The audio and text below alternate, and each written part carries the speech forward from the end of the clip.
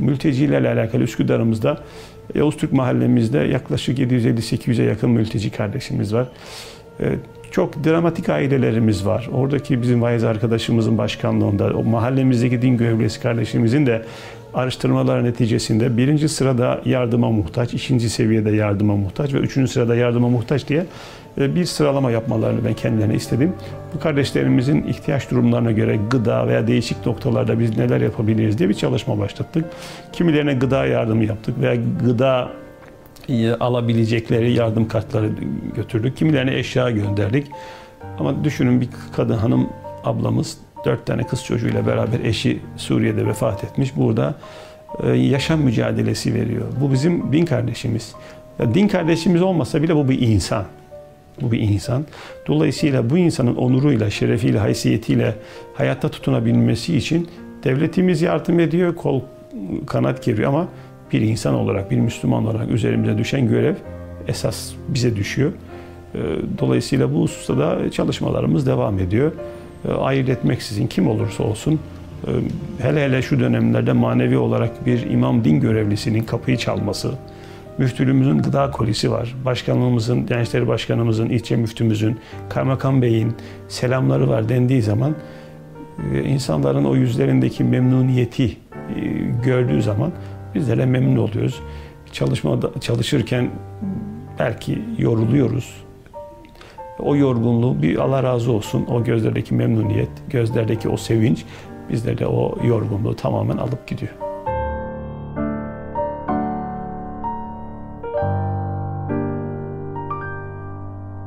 Şimdi bizim muhacir kardeşlerimize karşı görevlerimiz hem dini bir görev hem de milli bir görev olarak addediyoruz. Zira Rabbimiz bize, din kardeşlerimize yardım etmemizi emrediyor. Peygamber sallallahu aleyhi ve sellem Efendimiz her daim müminlerin birbirine kenetlenmesi gerektiğini ifade ediyor. Bunun için de vatanından ayrı kalmış, yurdundan e, uzaklaşmış ve hicret etmek zorunda kalmış, göç etmek zorunda kalmış kardeşlerimize hem dini görev olarak, Rabbimizin emri olarak Peygamber aleyhisselamın tavsiyesi olarak hem de aynı zamanda milli bir görev olarak zira bu topraklarda Anadolu coğrafyası her daim mazlumlara, mağdurlara kucak açmıştır. Atalarımız e, bu şekilde her daim masum, mazlum, mazlumlara, masumlara yardımcı olmuşlardır. Bizler de onların yolunda bu gayret içerisinde e, Diyanet İşleri Başkanlığımız olarak ve e, görevlilerimiz olarak gayretlerimizi sürdürüyoruz. Üsküdar Göç ve Manevi Destek Koordinatörlüğü olarak hizmetlerimizi Türkiye Diyanet Vakfı Üsküdar Şubesi'nin de e, katkılarıyla, destekleriyle yürütüyoruz. Ve ilçe müftümüz Ali Çakmak hocamız her daim bizlere bu faaliyetlerde destek oluyor. Ve göç komisyonumuz var. Hem e, bayanlarla ilgili e, bayan göç koordinatörü hocamız var. Aynı zamanda göç komisyonumuz imam hatiplerimizden, müezzin kayımlarımızdan oluşuyor. Ve bu arkadaşlarımız Allah razı olsun gece gündüz ne zaman bir vazife olsa koşturuyorlar.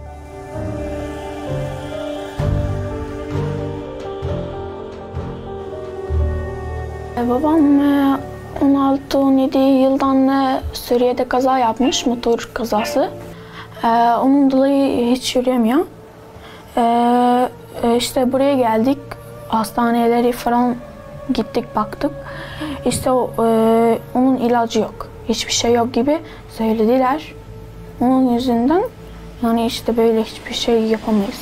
Bir de nakit e, bara işte böyle getiriyorlar işte alışveriş kartı. Allah razı olsun.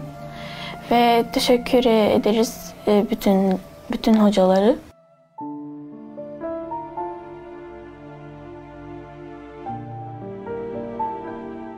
Şimdi öncelikle şunu söylemek istiyorum. Ee, Üsküdar ilçemizin Yavuzturk Mahallesi'nde en çok mültecilerin barındığı bir yer. Ee, daha çoğunluğu Suriyeli kardeşlerimiz. Ee, bu kardeşlerimizin birçoğu e, burada sigortasız, cüzi miktarda çalışıyorlar. Ee, bu kardeşlerimizin birçoğu gerçekten çok zor durumdalar. Bodrum katlarında, odunluktan bozma yerlerde kirada yaşıyorlar. İşte bu kardeşlerimize burada yardım götürmeye çalışıyoruz bizler de. Öncelikle şöyle, e, burada ilk bu faaliyetlere başladığımızda, ev ziyaretlerine gittiğimizde bu kardeşlerimizin birçoğu dediğim gibi yer altlarında, bodrum katlarında kalıyorlar. tamamıyla dıştan bağımsız perdelerinin e, güneşlik dediğimiz tamamını çekmişler. Çünkü etraftan korkuyorlar. Ancak artık bir cami imamı geldiğini, Üsküdar Müftülüğü'nden bir görevli geldiğini duyduklarında artık onlar bizi tanıyorlar zaten. Kapıların ardına kadar açıyorlar. E, bir ihtiyaçları olduğu zaman rahatlıkla camimize kadar geliyorlar. Bizle irtibata geçiyorlar. E, bu tür olumlu sonuçlarla karşılaştık.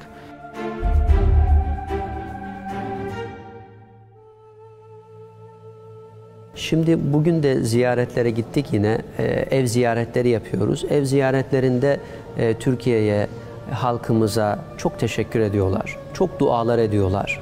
Hayırseverlerden büyük bir kısmı hayırlarını gizli yapıyorlar. İsmim söylenmesin istiyorlar. Allah onlardan razı olsun. Yani bu yardım faaliyetlerimizin temelinde hayırseverlerimizin destekleri var ve onlardan birçoğu da bu işi Allah rızası için gönülden yaptıklarından dolayı e, isimlerinin söylenmesini bile istemiyorlar ama çok dualar alıyorlar. O e, mazlum insanlar, masum insanlar, e, muhtaç insanlar hayırseverlerimize çok dua ediyor, ülkemize çok dua ediyor ve ben bunu sohbetlerimde de, vaazlarımda da anlatıyorum. Yani ülkemizin belki de başına gelecek birçok e, musibetlerden, felaketlerden bu masumların duası vesilesiyle inşallah biz kurtuluyoruz diye ümit ediyoruz. Çünkü verilen sadakaların belaları, musibetleri def edeceğine inanıyoruz.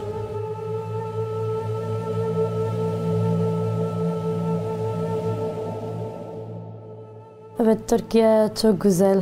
Bizim burada çok rahat elhamdülillah. Yani burada ikinci vatan. Evet ben kurs gittim. Ee, vakıf e, bir kurs açıyor. Ben gittim. Ama bir tane az yani. Şimdi yavaş yavaş çok Türkçe değil yani. Belki ikinci, üçüncü belki inşallah iyi. Ee, şu e, kart alışveriş vereyim. Ee, şey yardım, paket yardım getir. Elhamdülillah çok yardım. Yani Türkiye, Suriyeliler çok yardım vereyim.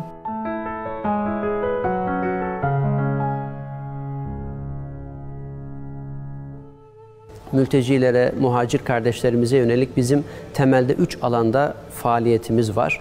Bunlardan birincisi eğitim faaliyetleri, ikincisi sosyal uyum faaliyetleri, üçüncüsü de yardım faaliyetleri. Eğitim faaliyetlerini çok önemsiyoruz. Bazı çocuklar var okula gitmiyor. Ee, evdeki hanımların birçokları Türkçe bilmiyorlar.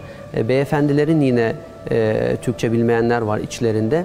Bizim ilk hedefimiz bu eğitim faaliyetlerinde onlara Türkçeyi öğretmek. Bu sebeple de Türkçe dil kurslarımıza çok ağırlık veriyoruz. İstanbul Müftülüğümüz olarak e, İl Göç İdaresi ve yine Milli Eğitim e, Koordinesi ile beraber Halk Eğitim Merkezimizle işbirliği içerisinde bir hocamız bu sene mültecilere, muhacir kardeşlerimize bir Türkçe kursu açtık. E, ikincisi sosyal uyum programlarımız var. Bu noktada Mevlid-i Nebi programı düzenledik ve bu programın içeriği tamamen onların dilinde Arapça bir program oldu. Ee, Arap hatipler getirdik. Ee, Suriye İslam Meclisi'nin onayıyla birlikte orada alimler, e, akademisyenler hitap ettiler. Sunumlar Arapça oldu. İlahi grubu getirdik. İlahi grubu Arapça e, ilahiler söylediler. Ve bu şekilde onlara da sanki kendi vatanlarındaymış gibi, kendi memleketlerindeymiş gibi e, onları misafirperver ettiğimizi, misafir ettiğimizi e, göstermek adına bu programlarımızı düzenliyoruz. Üçüncüsü de yardım faaliyetlerimiz. Bu kapsamda öncelikli olarak biz tespitler yaptık, aileleri tespit ettik. Hem kaymakamlıkla, belediye ile işbirliği içerisinde e, muhtaç aileleri tespit ettik. Genelde Üsküdar'da Yavuz Türk mahallesinde bulunuyor muhacir kardeşlerimiz. Yaklaşık 200 aile, 1000 kadar kişi orada yaşıyor. Bazen erzak kolisi, kumanya yardımı yapıyoruz. Bazen alışveriş kartı ulaştırıyoruz. Kimi zaman e, et yardımı kurban bayramlarında et yardımları yapılıyor ve ayrıca evlenmek isteyenler oluyor, durumu yok. Onlar için bir ev düzme e, tabiri caizse ufak tefek çeyiz malzemeleri, beyaz eşya, bazen ikinci el oluyor, bazen sıfır oluyor, bazen kullanmış bir cemaatimizden bir kişi hediye etmek istiyor. Bu şekilde e, ev eşyası şeklinde de yardımlarımız oluyor.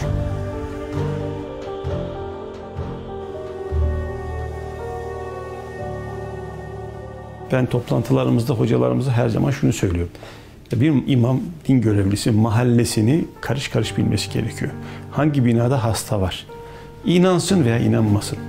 Dini inancı ne olursa olsun, ırkı cinsiyeti ne olursa olsun, e, pozisyonuna göre, hastalık durumuna göre din görevlileri, mahallenin din görevlileri bir araya gelip hastanede yatıyorsa hep imamlar din görevi, o mahallenin din görevlileri gidip bir geçmiş olsun ziyaretinde bulunmak. Eğer mahallede istirahat halindeyse veya evinde tedavi oluyorsa bu kardeşimizi gidip evinde e, ziyaret edip hem gönül alacak hem din görevlisinin e, ne anlama geldiğini gerçekten e, belki yanlış anlaşılmaktan veya şimdiye kadar yanlış tanınmışlığın vermiş olduğu o ezikliği inşallah kardeşlerimiz bu vesileyle üzerlerinde kurum olarak atmamız gerekiyor. Bu konuda kardeşlerimiz de çalışmalar yapıyor.